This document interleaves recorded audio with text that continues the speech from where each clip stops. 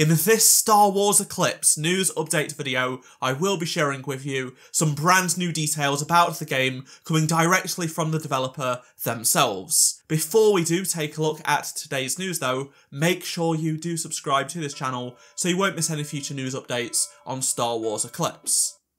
So late last night, the developer did a brand new interview at Tokyo Game Show, which is currently ongoing, and they revealed some new information about the game. We are fast approaching two years since when the game was announced with that incredible trailer, but news has been pretty scarce over the last two years. We've had a few things here and there that I've covered in videos, including some leaks that are supposedly purposely leaked by the developer themselves, which is just insane. More recently, we got an updated release year for the game, so they're targeting 2026. They also did a TV interview where they showed some behind the scenes of the making of the game, showing the motion capture as well as sound design, things like that. Plus, they said that the game's development is going well. Yeah, we don't entirely believe that, but that's what they want us to believe. But we actually got something far more substantial at Tokyo Game Show. IGN conducted an interview with Quantic Dream, specifically Lisa Pendice, the Vice President of Marketing at the game's developer. And when asked about an update on Quantic Dream, she said, Can I say it still exists? Because it exists. It's just not ready. It's simmering. On to some actual big details that we did not know about specifically. So Lisa says that the game will not have a game over screen, which is in line with previous games Quantic Dream has made. She says, One of the biggest focuses we've had when we announced Star Wars Eclipse was to make it clear that it is actually an action adventure game which features all of the elements that you would come to expect from a Quantic Dream title. It's about the intricately branching narratives, multiple playable characters. There's no game over anyone can die, anything can happen, and the story sort of continues, so those signatures are still there. But what we have been doing is even more ramping up our expertise in the gameplay arena. So yeah, if you die, then there's no game over screen. You'll have to take control of another character that you have in the game.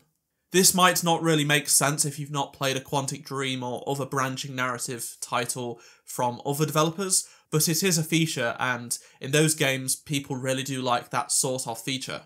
There is a lot more risk and reward for the decisions you make that impact the story.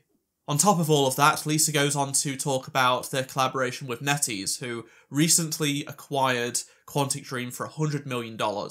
Many people assumed that NetEase would be very hands-on and take away the creative freedom of Quantic Dream, but Lisa says one of the amazing things about working with NetEase is that they're not imposing release dates on us.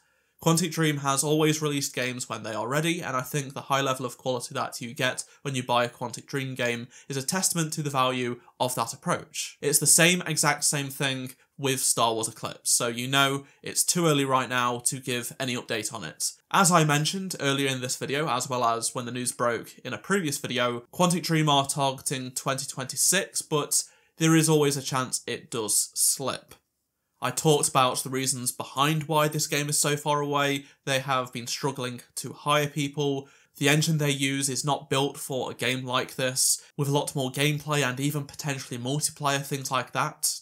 The game's trailer brought so many really interesting ideas and visuals to Star Wars, in my opinion. It looked really cool and offered something that people have been wanting for quite some time. However, we do now know that the trailer wasn't really all Star Wars. There were assets used from games that were not Star Wars and things like that. It's not exactly going smoothly over there at Quantic Dream and Star Wars Eclipse. However, this game is still in development, they're still hiring for it, they are working on it, as you can see here. We'll just have to wait even longer for even more details and actual gameplay.